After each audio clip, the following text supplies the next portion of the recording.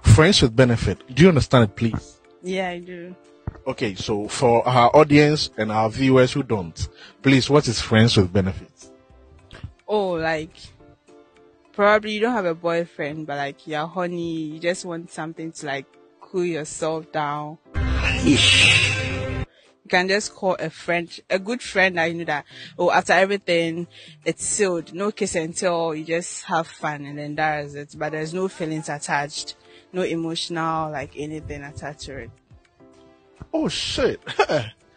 Why you you studied that course too for you?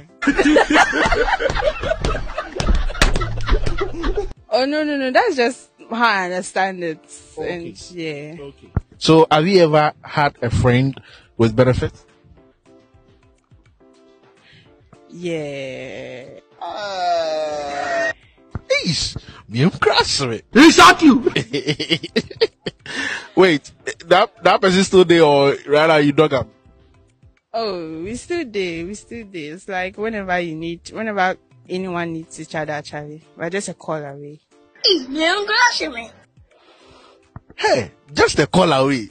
Hey, people enjoy you. and they bleed